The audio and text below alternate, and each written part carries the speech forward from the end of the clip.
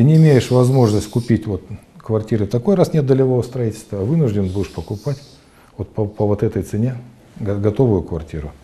Соответственно, удорожание квартиры э, за счет кредитов ну, где-то 30-40%, а общее удорожание квартиры, ну, плюс миллион. Обманутых дольщиков не будет, а вот цена квартир возрастет на треть, уверен Евгений Ковальский. На простых математических подсчетах представитель застройщика показывает, как запрет на долевое ударит по рынку. Отказаться от строительства жилья за счет средств собственников решено по поручению президента.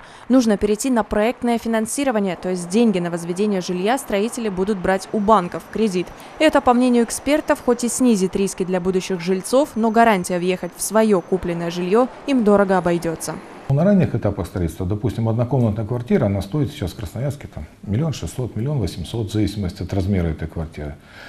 То уже ближе к сдаче она уже выходит там за 2 миллиона рублей, там, больше 2 миллионов рублей. Ну, а если придется кредитоваться, ну, представьте себе, 12% годовых, 3 года строится дом, там уже Получается 36% годовых.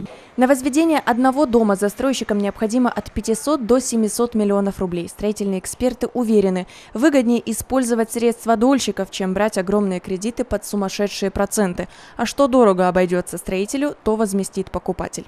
Ну, сегодня стоимость денег варьируется от 10 до 15 процентов годовых. Средняя строительность дома, средний срок строительства дома – это 2 года, поэтому ну, мы можем смело говорить о 20-30 процентов увеличения стоимости на жилую недвижимость. Те компании, которые банковские кредиты не потянут, вынуждены будут уйти с рынка. Э, строителям, конечно, немножко сложнее станет. Почему? Потому что сейчас они привлекают средства дольщиков и на эти, собственно, финансовые средства возводят дома. Конечно, теперь нужно будет э, компаниям и, делать это за свой собственный счет. Ну или, возможно, какой вариант? Еще объединение да, ряда строительных компаний. Поэтому, ну, безусловно, наши крупные строительные компании, они, конечно, для них это, как сказать, с одной стороны, может быть, не очень выгодно, с другой стороны, это немножко рынок-то почистит. При проектном финансировании купить жилье можно будет только в готовом доме, а вот при долевом строительстве продают квартиры даже даже на этапе котлована. В Красноярске больше половины жилья строится за деньги дольщиков. Как правило, такие квартиры дешевле в разы. И лишать такой возможности россиян приобрести собственное жилье было бы странным, говорят эксперты. И добавляют, государство всегда легче запретить, чем организовать должный контроль за строительством долевого государство на себя должно э, больше взять э, ответственности за контроль.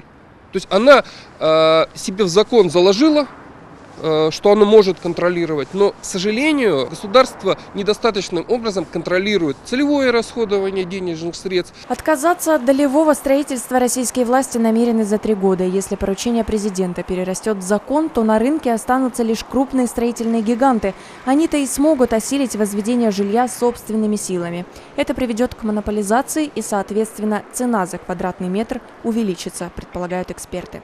Виктория Столярова, Сергей Малафеев. Новости ТВК.